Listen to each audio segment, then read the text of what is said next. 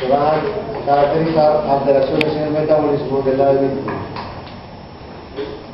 Ya, pero para eso entiendan, más que no lo entiendan. Estamos viendo para eso justamente, entonces tenemos niveles, ¿no? Cómo se está produciendo esto. Esto lo van a ver en esa cara, pero esto es algo común. Es menos frecuente que es visto en genética también deben haber bacterias, por ejemplo, ¿qué más? Deben haber hecho hemoglobina S, o, o anemia falciforme, ¿no? Esas no son muy comunes en nuestros médicos, esto lo vamos a pasar un poco más rápido. Pero esta es extraordinaria, ¿no? Esto es bastante frecuente. Es la caracteriza. Ahora, eso hay que analizar para el estado. ¿Bien? Hasta ahí está claro entonces. Seguimos.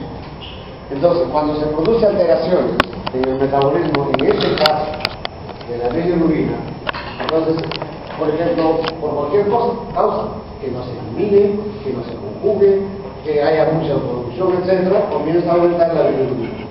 Y va a generar una alteración llamada hiperbilirrubinemia.